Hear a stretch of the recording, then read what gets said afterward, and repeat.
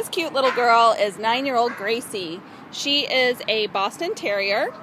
And the kennel card says she's nine years of age, but her teeth really don't look to me to be nine years. So she may be, um, I- I'm guessing she's still considered a senior, but maybe more along the lines of six or seven.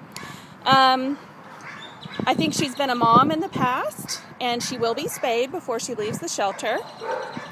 Um, this girl is available for adoption or rescue here at Irving Animal Services, located at 4140 Valley View Lane, Irving, Texas, right near the south entrance of DFW Airport.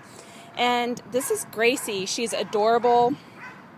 Um, I think that she has matured past the hyper Boston Terrier um, age and matured right into the calmer version. She does like to play still and she loves to have her chin scratched. Come here, Gracie.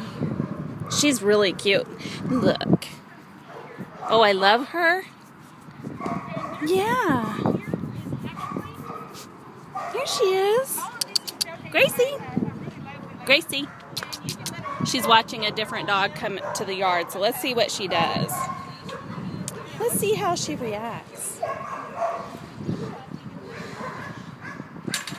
So far, so good. What do you think, Gracie? Oh, I see your little stub tail moving. I see your tail.